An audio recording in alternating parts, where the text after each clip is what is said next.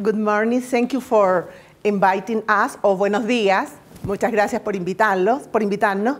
And now I have a project in Haiti, so bonjour. It's just the only word that I learned. But in the future I promise that I can do something better. Well, there are a lot of things that we can talk today, but to start, I'm going to, to show you the project that is called Mano a Mano. This project was done in Chile with Chilean women and was the cultural adaptation of SEPA study, which one of the main from El Centro. And also, this uh, project Mano a Mano is working with minority women, where women that are having a very low income in Chile, and you know, they are suffering a lot of uh, health disparities. So the name of the study uh, that finished last year is Mano a Mano Mujer, Mano a Mano Women, uh, an effective HIV prevention intervention for Chilean women. And this was an R1 that we, uh, I got for five years and just finished uh, last year. People who participate in this grant were Dr. Ferrer from Chile, Dr. Peragallo, who is the, the creator of SEPA and also who is the PI of El Centro, Dr. Norr, who is from the University of Illinois at Chicago, and Dr. Michael Murray, who was my mentor when I was doing my PhD, and, and unfortunately, she passed away.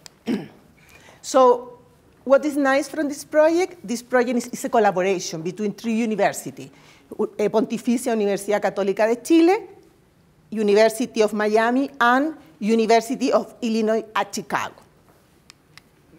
So this is Chile, where the study was done. Don't be so excited. It's just this line. I like to show the map. Look like it's, you know, a huge country, but in the reality, oh, where I'm going, back, back, back. Okay. In the reality, it's just this part, and we need the study in Santiago de Chile, which is the, the capital. So to talk about HIV, probably many of you know the number of cases in 2009. We had 33.3 million. I was reading new publication that we are now close to the 40 million. Plus, there are still coming new infection. So it's not that we have, you know, controlled the epidemic. The epidemic is still. Uh, and now, what is very important is women. Women is comprising, in Africa, 50% of the population who is living with HIV. In other countries, it's not 50% yet, but we are seeing that the number of women who are getting HIV is increasing. For that reason, this project has a lot of significance when we start with this in Chile because, you know, we are talking about the year 2004.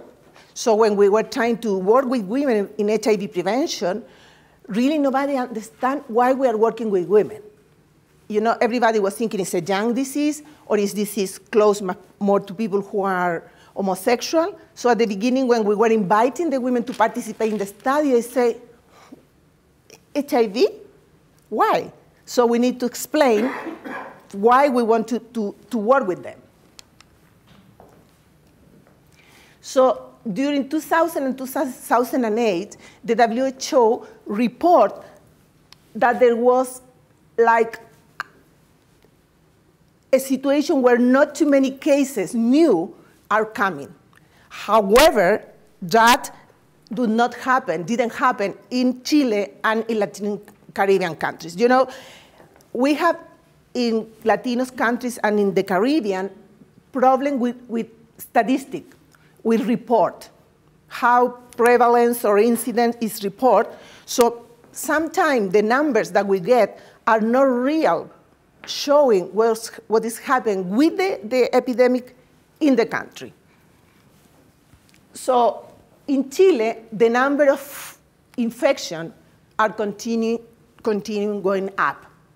So means that the campaigns that were done by the Ministry of Health has not been really very effective. Remember that also we are uh, a Catholic country where the church has a lot of power, especially in the media.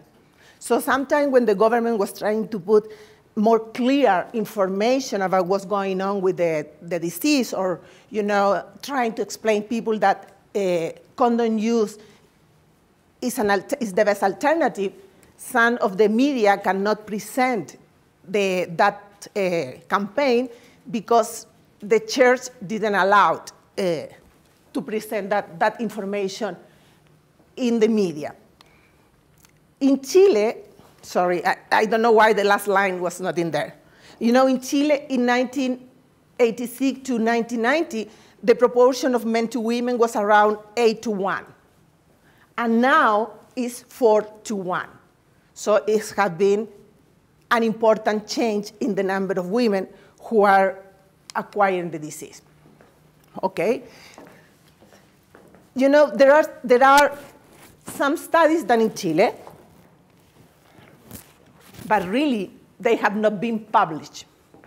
So the one that I'm going to present you, this, this study, uh, was accepted last month in the Healthcare for Women International, which I think is very important because we are presenting the entire study, the result, and the, the, strate the strategies that we need to continue doing in Chile. So if you, you have interest in what I'm going to talk now, probably in three more months, you can see in, the, in that journal. So what is the objective of this presentation? Is describe the impact of Mano a Mano Mujer and HIV prevention intervention on HIV-related knowledge, attitude, and behaviors for Chilean women. You know, I remember uh, when Dr. Peragallo was developing SEPA, that means salud, educación, CEPA, prevención y autocuidado in Spanish, she developed SEPA to be used with Latino women that were living in that time in Chicago. And the majority of them were women coming from Mexico or women coming from Puerto Rico. So that, that was the idea when Dr. Peragallo developed the intervention that after years we translate or we cultural adapted to women in Chile. So there are a lot of biological component plus sociocultural component uh, in the Latino women. When, I, when I'm talking about Latino women, I'm talking women who are in US and Chilean women who are also Latino women. So we share a lot of commonalities uh, with, in relation with cultural factor. We have problem with uh, power, gender power. We have a lot of problem with poverty.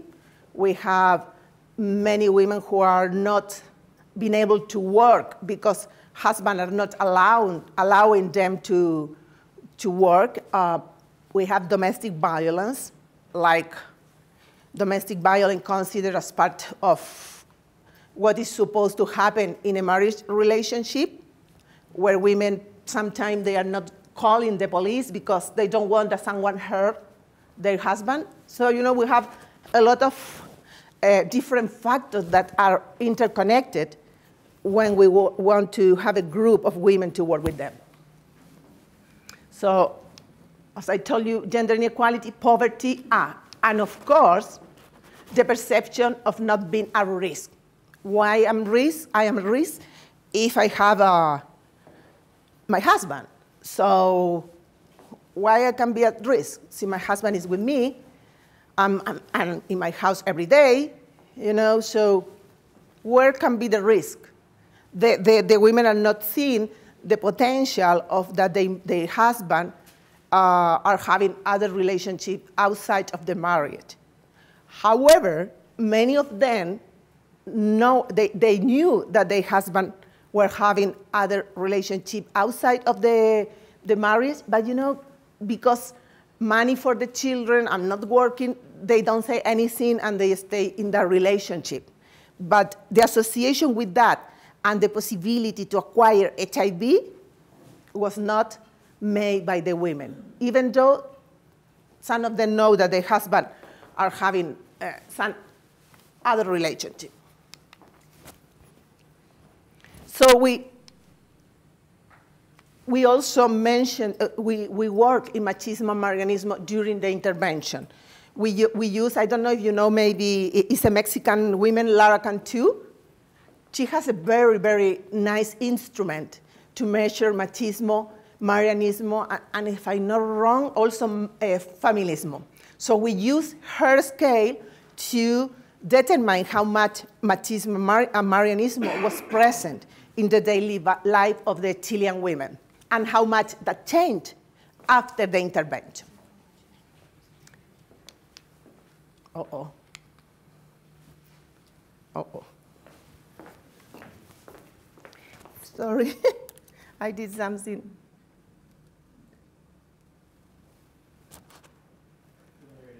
Yeah, fortunately.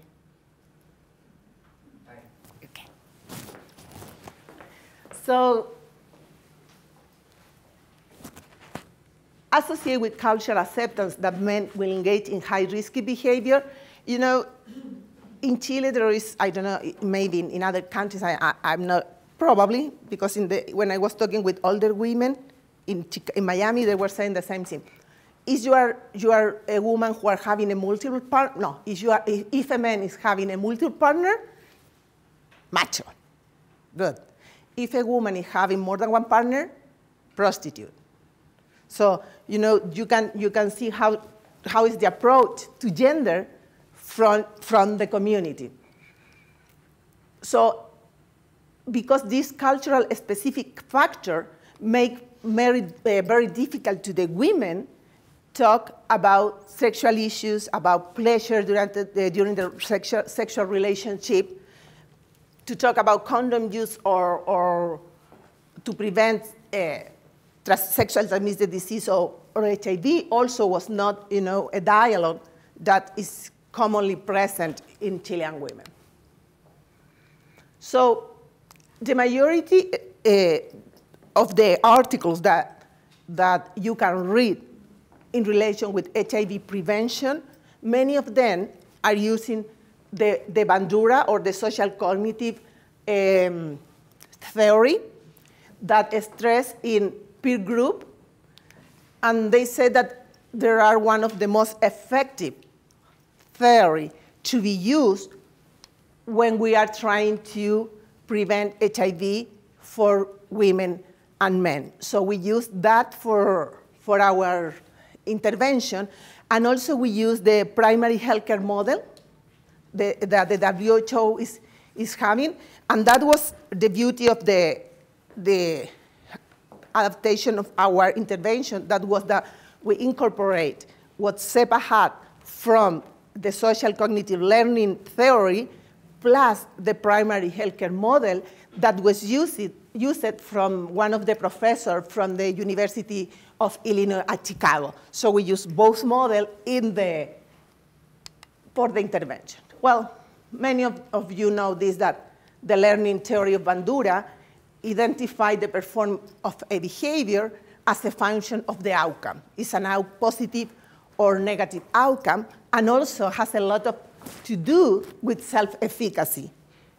How much I'm be able, be able to do a behavior so if I'm confident that I can do something, that I will have a good outcome, that probably I will adapt that uh, behavior, plus the entire social-cultural factors that are around of these women. For example, we use, for the self-efficacy, we use the true rehearsal role modeling and supporting during the, the focus group were a lot of uh, demonstration, a lot of presentation. We bring models, and also something that was very good was the support, the peer, the peer support in the group. That helped a lot to uh, have a very good outcome in our study.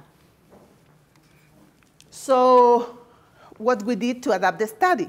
We did, without the intervention, we did a lot. First, the intervention was professionally assisted peer group intervention.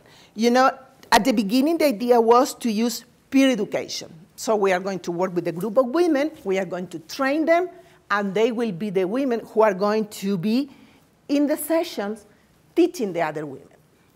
So what happened? We start with phase one, that was the qualitative study. This one.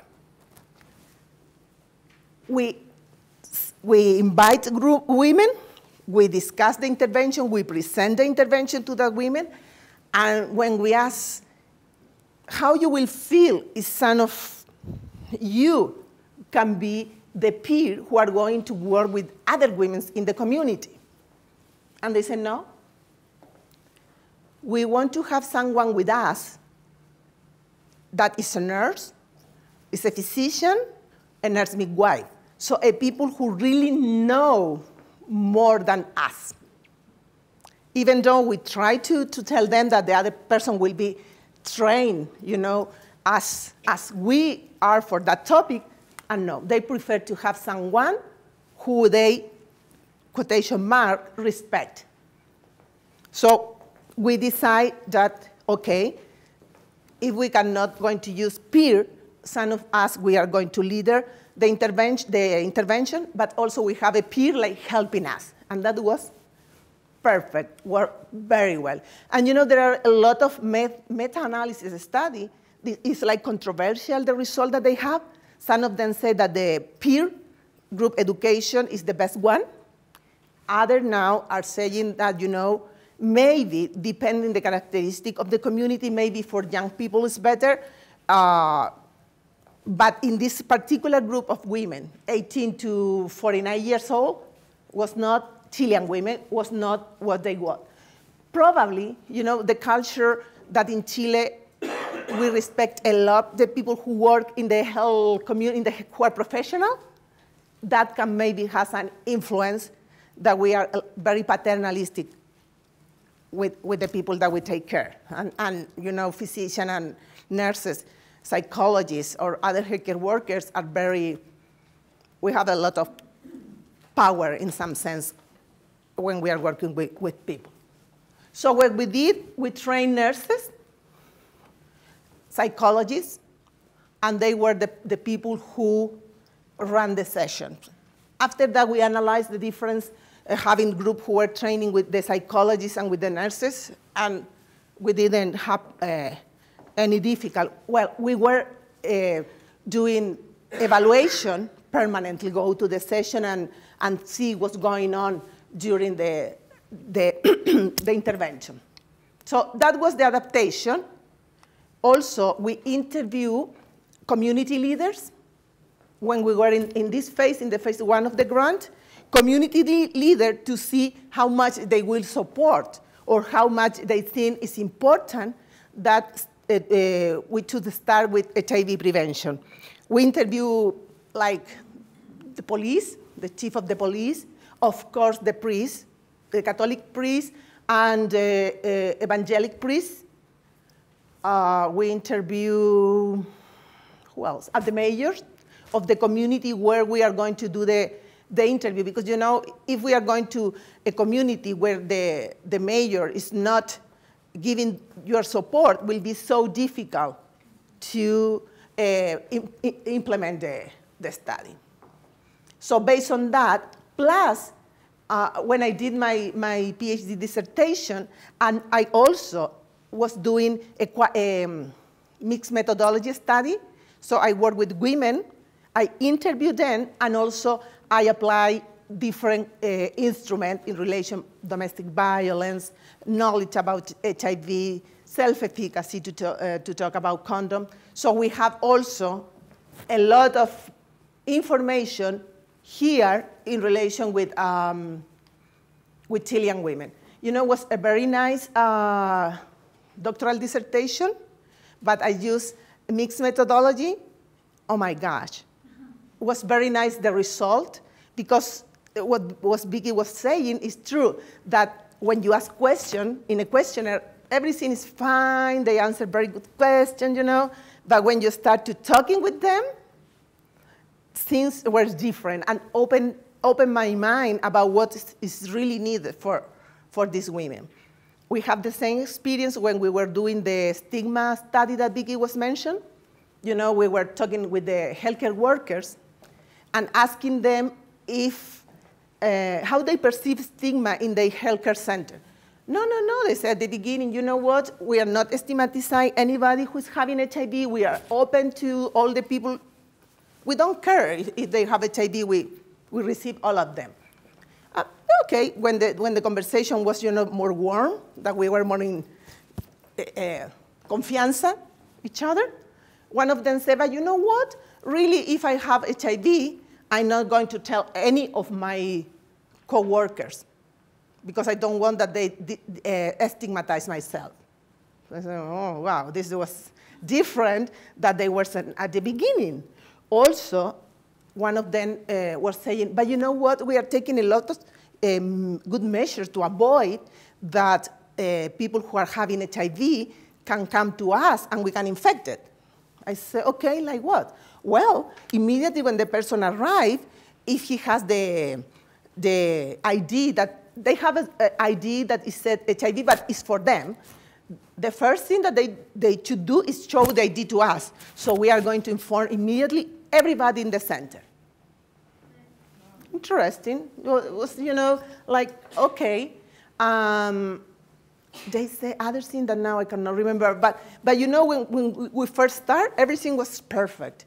But when we, we go more in depth and more in depth, new things were coming to the, exactly to, to, the, to the area. So that, that was very bad. Oh, I remember. You know, also we did observation with that group of healthcare workers when they were taking care of the people to see uh, universal precaution.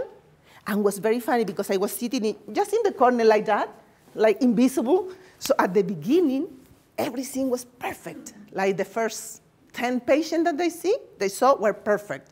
The syringes in the box, Everything was perfect. You know, I was thinking, be here, people are not going to do things wrong. But you know, after a while, after a while I, I was really invisible. So the, the syringes were start, instead going in the, in the safe box, they were in the trash can. Many of them were not encapsulate the, the needle, just like that. So, and you know, it was a very strange situation because I was sitting like, like everything is perfect, but you know, things are not at the first information that we receive, but if we spend time to analyzing and looking more in depth, new things are, are coming. And we use, as I told you, the SEPA intervention for Latina women that Dr. Peragallo at, at that time, she has um, implemented in, in Chicago. If you have question, you just interrupt me. Or if you don't understand, because my accent sometimes is not clear, I can answer in Spanish. To me, it's easy. so what we address in the intervention, we address a specific cultural factor like machismo, marianismo, and feminism.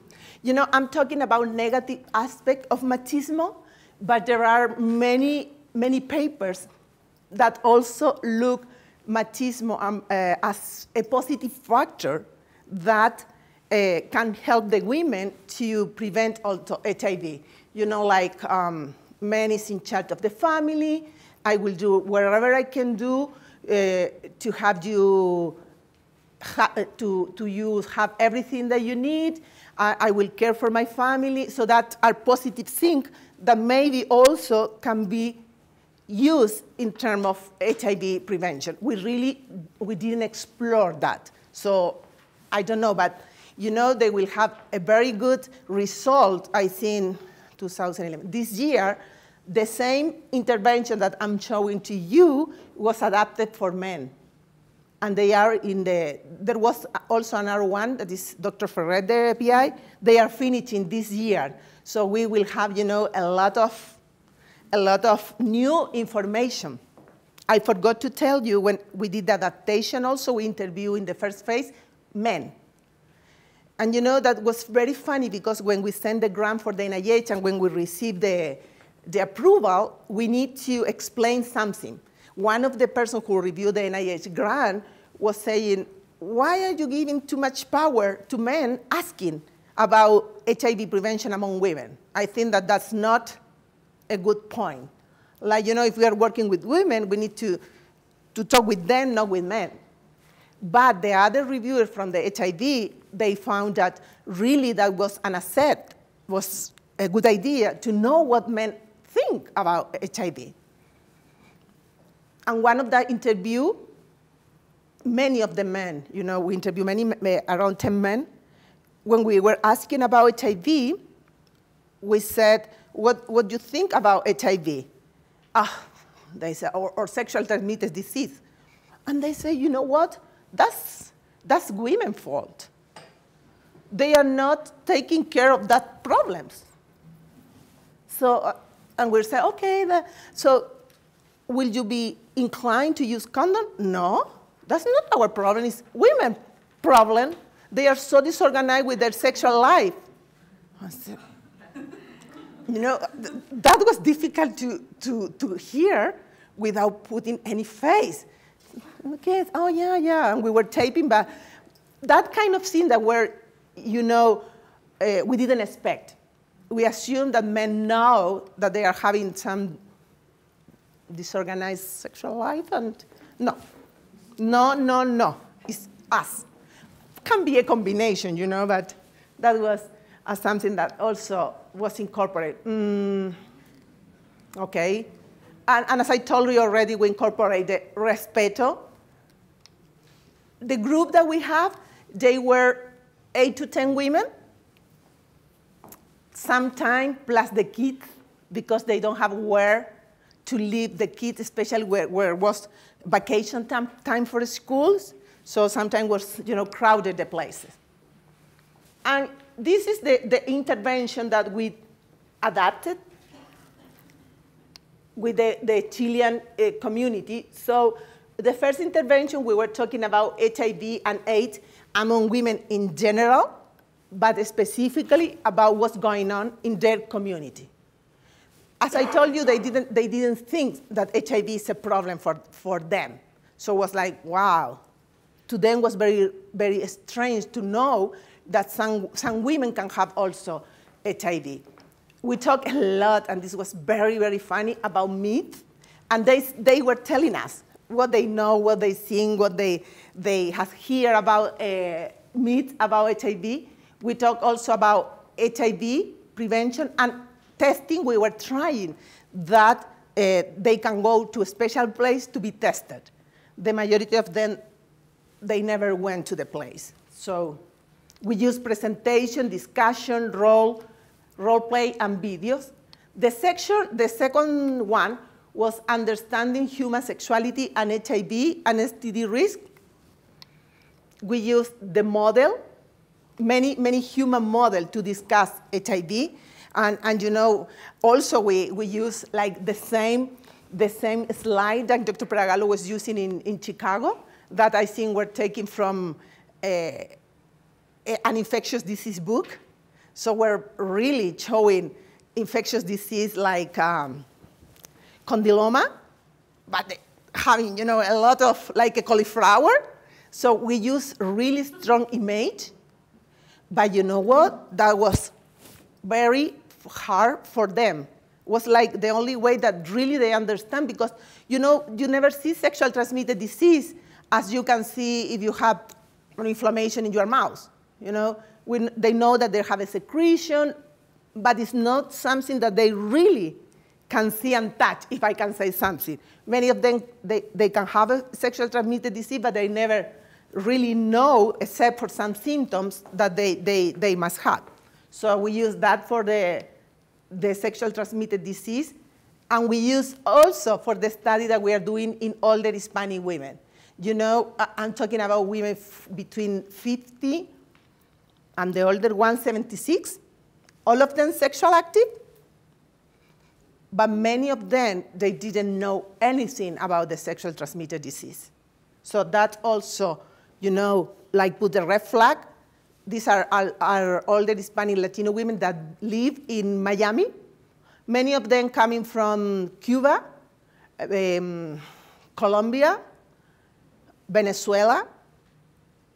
I think that that was, was the majority. So also sexual transmitted disease was very important for older women. You know, in my, my, assumption, I was thinking maybe they will be boring talking about, you know, sexual transmitted disease. At the contrary, they were like, they need to have more, more, more information. Myth and misconception about condom and how to use female and condoms correctly. I, I need to tell you this. You are going to see, to see that I'm, I'm, in some, I'm, all, I'm older women, part of that study, but you know, sometimes I'm, I'm like a, a child that I want to play with something. I bring a huge bag, bags of condom. I bring the condom, I, I, leave, I leave the condom in my house. So this was last week, two weeks ago. The condom were called like premium. To me, you know, all the condom, they are different color, different taste, but all of them are the same. So one of my son, who is 27 years, told me, wow, mom, why you have these condoms that are extra large? so I said, extra large? I was thinking all the condoms are the same. No, ma'am, these are extra large condom. Wow, I said, so I need to bring this condom to work with older Latino women. Yeah, but they told me you need to bring like normal condom. Okay, so I take in consideration because I said maybe they know more than myself about condom and characteristic and quality. So I bring a, a new box to my house from then to go to the older Hispanic women. So I put them next to the premium one. This one where condom, the color was black. So they said, wow, mom, you have a lot of different idea about condom. I just want, I, I just want a normal condom because now they are going to start with the color. So I arrive to the, to the uh, intervention with the older women and I bring both condom, the premium and the other one. Surprisingly, the women start to asking me about the characteristic of the condom that I didn't know. So you know what I did? We said, suppose that these are extra large, extra resistant, the, the premium one. So we, we open the condom and we measure the condom. We, we wear the condom in our hand. And you know what? Both condoms were the same. So when I arrived to my house, the, uh, I, I, told my kid, you know what? The, both condoms are the same. And they say, wow, mom, it's just only the media. Yes, I said, so don't tell me that, of course, they need to use premium condom. That was they were telling me. We, these are the condoms that we use. But you know, it was just just a marketing. Both condoms were the same. And we wear the condom here in, in, in the hand, perfect. Look, look exactly the same. No longer, no more resistant. Everything was, was the same. So we have a lot of fun with the older women, you know. It was, I, I was very engaged with them because I was part of, of, of the group in terms of age. So that, that was something that we did with condom, uh, that, uh, not here in SEPA, but with the, this group. Uh, ah, female condoms. You know, we incorporate female condom when we did the study in Chile, but really, really it was not very well accepted. Everybody know uh, female condoms here? You know, I don't know what I can tell you. I never tried, but just the idea to, to use it, the women were reluctant in Chile. They didn't like it, uh, looked like too difficult to use, you know, it's not comfortable. However, the older women that we have in this older study, older women study, they love it, the, the female condoms. They really love it because they said that to use condom with older men is difficult because sometimes the erection that older men are having is not good. So they cannot handle the male condoms. The male condom pull up, se sale. So they found that to use female condom for them will be a very good idea. And you know, the, the female condom, like they are like um, a plastic. Doesn't look like the, the, the, the same characteristic that the female con, the male condom are having. And I, I, say, yeah, I know that look like a plastic, but it's, it's, it's a good measure to be used by women.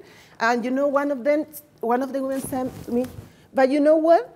If you use the condom, the, the, the sensation of plastic will change.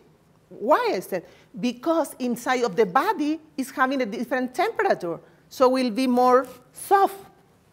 I said, wow, that's, you need to call the company and tell them to put that in their advertisement. I never seen that, and that's true, you know, when the, the condom is inside of the vagina, because the temperature change, probably they will be more soft and don't having this sensation as, as plastic. Okay, I have been talking too much. So, also we, we were working about uh, in physical well-being and physical health. We incorporate uh, self-esteem, depression. We talk a lot about depression.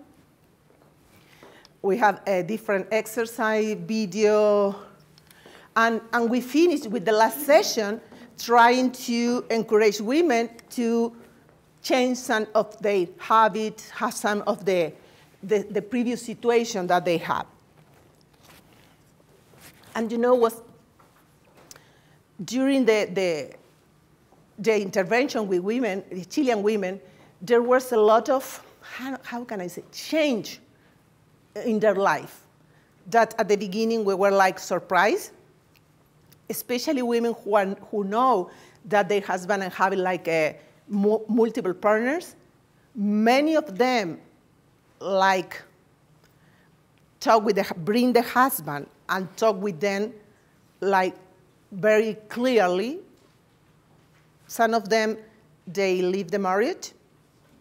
Some of them that were never worked before were working. Some of them that they didn't finish the school because the husband didn't allow them, they returned to the school.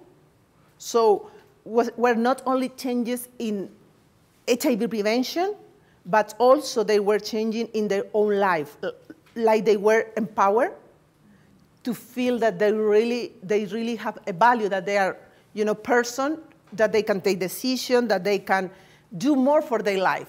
Some of them start, you know, learning, for example, costura or, or other technical thing. One of them was uh, finishing and studying like LPN.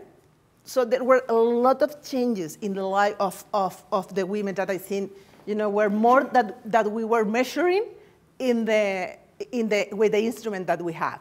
And, and someone suggests, I don't remember who was, that we can ask for another study last, like try to, to talk with these women now, like do a qualitative study and see what's really is going on with that women, how the separate intervention or the Mano a Mano intervention her, uh, changed their life, which can be, and in terms of the IRB, when, when the women sign the IRB, we ask if they can be uh, called to participate in a new study. So in that sense, will be just something that we can do without too much problem.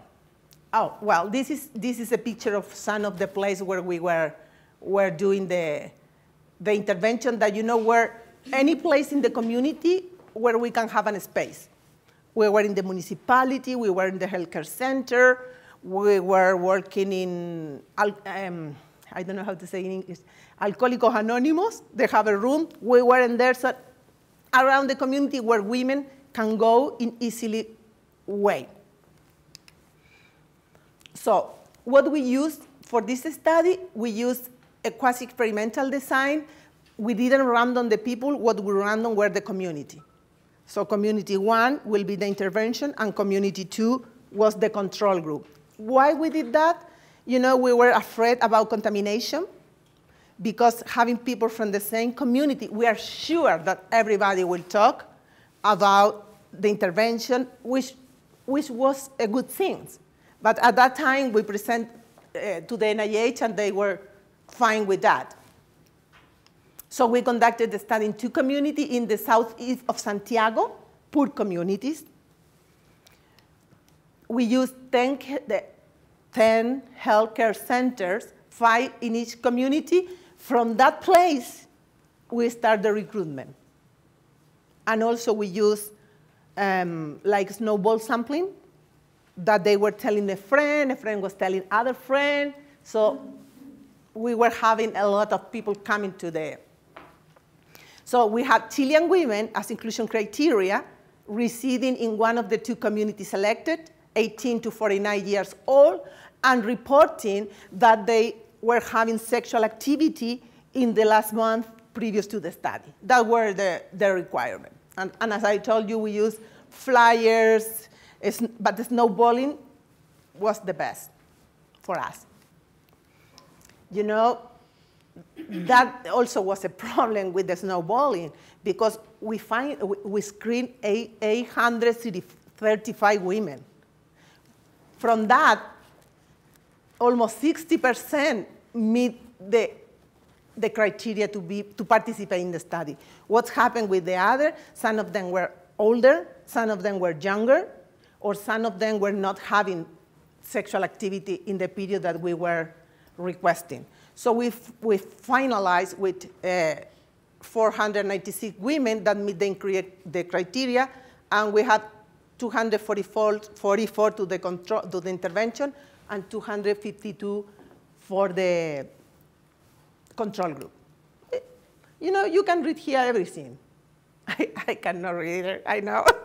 I was trying to make bigger, but it was too much. But here, you know, 835 women. These were the women that participate in the study, and we finished with 218 women in the control group at the three months follow-up, and 182 women in the intervention group at three months follow-up. Mm. So we have here three months follow-up retention. Retention was 80% in the, in the control group and 70% in the intervention group. You know, we have, we use multiple strategies to retention. And, and the big problem that we have to have the women participate in the, in the intervention is that where if they, if they receive an offering of job, they cannot say no. You know, they were working like housekeeper or cleaning office, so they were jobs that they, they cannot negotiate a lot. Like say, no, I cannot go today, I'm going to the, to the intervention. And you know, at that time, we didn't offer the intervention during the weekend, for example, or in the afternoon. We have the intervention in the morning, Monday to Friday. Situation that changed radically, radic radically, that changed a lot, it's easy, changed a lot, with men. The study that is running now with men is mainly, mainly done, done during, the after, and during the evening and during the weekends because men, supposedly all of them are working, so they cannot go during the day. So that was something that we need to have in consideration for, for future study. Well, we offer compensation for participation. And, and you know, we were any place where the women can, can be to ask the, the follow-up interview. Sometimes we were to the house, sometimes we were to, to the health clinic. We, we move around them to, to really have the, the follow-up and, and to, to, to have the, all the women answer the follow-up. We, we, we, we gave in, uh, incentive, you know, we gave $10. was, yeah, nothing, I know, nothing, $10. We so I think that was not just the money that made these women participate in the study, was really more than that. And some of them, they were asking, why are you paying me if you are giving me so much? So was, um, so we have the, the approval, the IRB approval from the Pontificia Universidad Católica de Chile. I told about the compensation and I told already about where we collect the data. So the interview containing close-ended question and we assess at baseline, six weeks and three months follow-up. That was the assessment that, that we did. And really for the analysis, we use the baseline and three months follow-up. So we, we, the variables that we were measured, some of them were socio-demographic. We have HIV-related knowledge. We have attitude. For example, positive aptitude to living, to people living with HIV, perceived barrier to condom use, self-efficacy for HIV prevention, behaviors, HIV reduction behavioral intention. And in the HIV redu reduction behaviors, this one were more attitude, but in behavior, partner communication, condom use, and also in mental health, we measure self-esteem and depression symptoms. Some of the scale that we use, I didn't want to, to put all of them because there are many. We hope that you know the HIV behavioral knowledge scale, the Heckman, self-efficacy to condom use, communication with partner about HIV and STD, perceived barrier to condom use, the Laura Cantu scale, perception about Marianismo and Machismo, the Rosenberg self-esteem scale, and we use the CESD for the depressive symptom.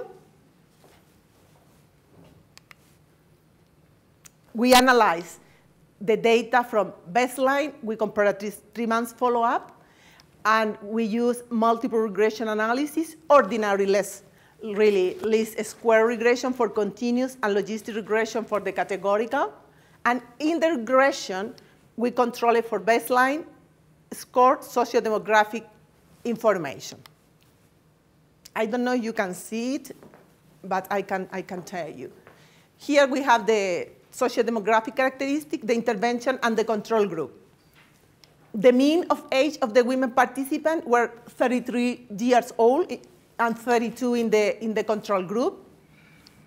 Year of the education was significantly different between the intervention and the control group that was one of the demographic that, uh, because you, you can see here in the intervention, 33% of the people are having elementary, uh, only elementary school, but in the control group, there was less. Half of them only have elementary, meaning that the majority of the women were having high education level.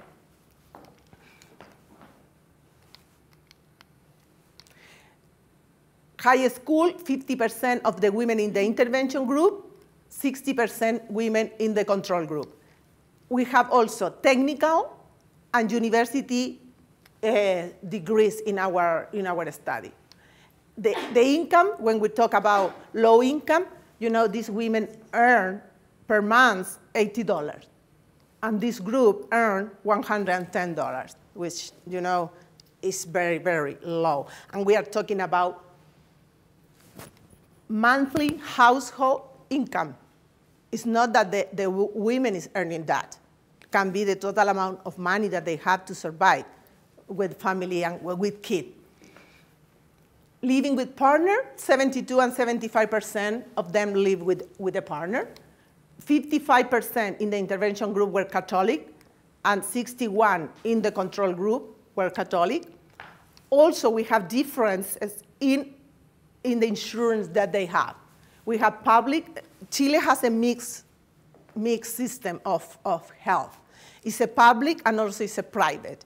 Generally, the people who are less income are going to the public, where, where they don't need to pay anything. People who are having more income are going to private insurance. So public 66% and in the control group 87. The ones that are in the private sector are the ones that employ, uh, employers are paying the insurance for them. For that reason, they, they and unfortunately, in the, in the intervention uh, group, 20.25% are no coverage, which is a lot. You know, it's almost uh, one fourth of the, of, the, of the study, that 25% of the study that they didn't have uh, insurance. Okay. Here we are, the result, because everything sounds good, but what, what's really happening there?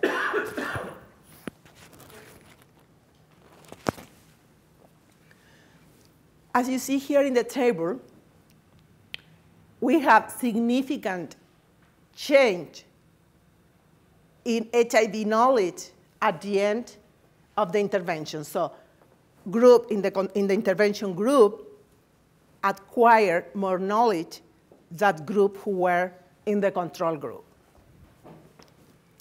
Attitude toward people living with HIV, also we have a significant differences in the intervention and the, and the control group.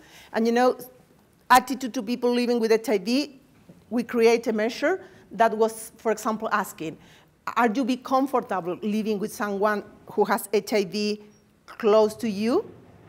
And at the beginning, many of them, they say no. Are you willing to, for example, take care of a person who is sick if she needs your help, knowing that the person has HIV? Was no. But was more like no, no, knowing that really, you know, discrim discrimination. So when they, they learn about the different characteristics of the HIV, I think they open they, they, they mind to, to accept more, more, more of them. We didn't have change in behavior risk perception. And, and that, you know, is very close related with culture. So it was something that we didn't obtain changes. Perceived barrier to condom use, also, we didn't have significant change. Also, we can assume probably something relating with culture. I, am not sure to say that, but, uh, but intention to reduce HIV risk behavior. We have significant change. People increase the intention. So they want to do something, but there is something that in the middle, some factor that we didn't know what is, that didn't allow the women to arrive to the final action. Uh, I love this one, partner communication, which, you know, we have significant difference between the group. I think that that was fantastic. And the, the, the material that we, we gave to the women has a lot of things to do. They said, you know, when they arrived to the house, sometimes they didn't have anything to say to their husband because they were not working and the husband was working, so he arrived and nothing. But now they have the mano a mano, uh, uh, we, we, give um, flyers, to, no, not flyers, handout. We, give, we gave handout to them, so they sit next to their husband and start to talking about that. And the husband were listening because it's not something they are telling. It's something that someone who know was telling them. So that was very, very good. And we find a new strategy now with the older Hispanic women. The, the Florida Health Department had a set of mini clips, mini clips, videos with famous people that are known in the Hispanic community. Like singers, for example, we have, I don't know if you know Paulina Rubio. Maybe you see in the, in the TV that very short, two, three minutes uh, video that the person is talking about HIV. Just very, very short message. We use other that is uh, the a father, um, Cutié, remember, is, one of the father very well known in Miami. And many of singer and um, people who are working in TV and radio, and we gave that to the older women. You know, they love it. They open the video and they show to their husband, to the friends, to, to the daughters. They say, I never, I never talked before with my son about HIV. And now I'm talking them and I'm talking to, the, to also the classmates that are coming to the house because they have something that they can show that you know is clear, they trust the people. Also, we, we look uh, like respeto in that. Self-efficacy on HIV prevention also we, we have a, a significant change. Condom use, no. We didn't ch have change in that. So something also we need to address in that that is not showing real action in. Surprisingly, we also had change in depressive symptoms according with the CSD scale. But we didn't find changes, found changes in self-esteem. That we, we were expecting that we, we, we can have some new good results in that. So implications. The Mano a Mano Mujer intervention is the first intervention specifically tailored for Chilean women that has been shown to be effective in changing knowledge, attitude, and behaviors. Mano a Mano Mujer prevention intervention can be a model that can be effective in addressing the HIV epidemic through Chile, because we have uh, Mano a Mano in women, Mano a Mano men, we have Mano a Mano for um, uni, uh, students who are going to, to the university. So look like, you know, having this can be used as, as a model in Chile. Funding from this study provides further documentation for the urgent need for more prevention intervention in Chile, especially for low-income women. You know, what, what's the problem with people who are from high, high income? That we don't have the information. So maybe also it's a huge problem among people who are having more money, but sometimes the diagnosis of HIV is not released to the authorities because they are going to receive care in private setting, and probably they buy the medicine.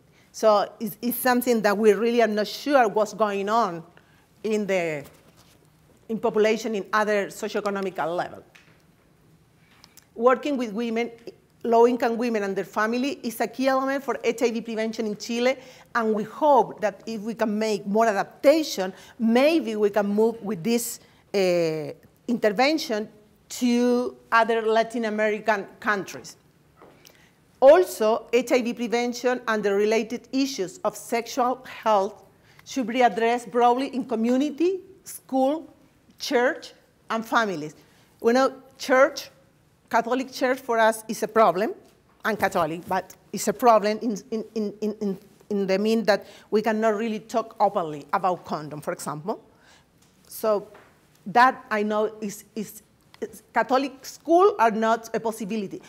Church also uh, are not open, the Catholic Church, so maybe we need to start, you know, building trust with the priests uh, in, the, in the Catholic Church. And you know, the Catholic University was the place where the study was done. So it's like, but we need to, to do a lot of negotiation before we can do uh, the studying in there. The, there is the president, and the person who is coming after the president is the archbishop, the archbishop. So I talked with him a lot of time, and, and you know, at the end, I, I, I, I think that he was tired to having me, and he said, okay, okay, okay, Rosina, do your study. But I don't want to see you in the newspaper saying that the professor from the University, uh, the Pontificia Universidad Católica, is giving condom. Okay, I said, okay. But he, he said, you can do whatever you want when you close the door. So, I mean, you know, I work with the women without any problem. Also, healthcare providers need to take the lead and facilitate this program. And as I told before, this intervention may be used a model for reducing HIV in other Latino countries. The good thing is that was a model bring from SEPA that was already in place, and you know that give to us a lot of strong to our uh, intervention. Questions? Why didn't you use the six weeks follow-up on the analysis?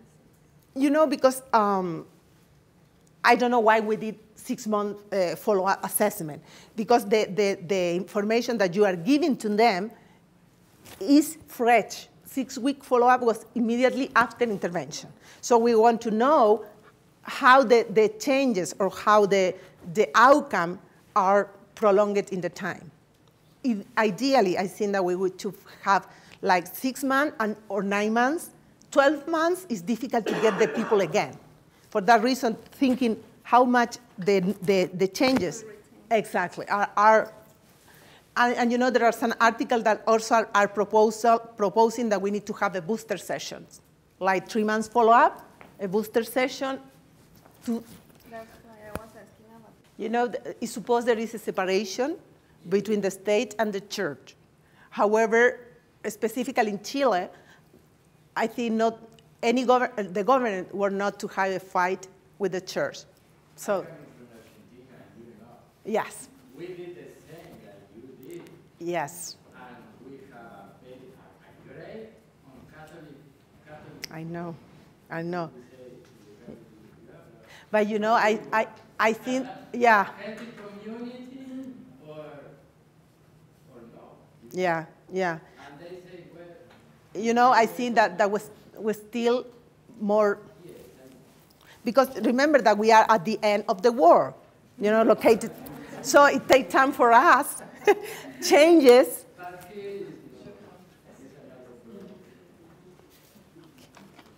Thank you.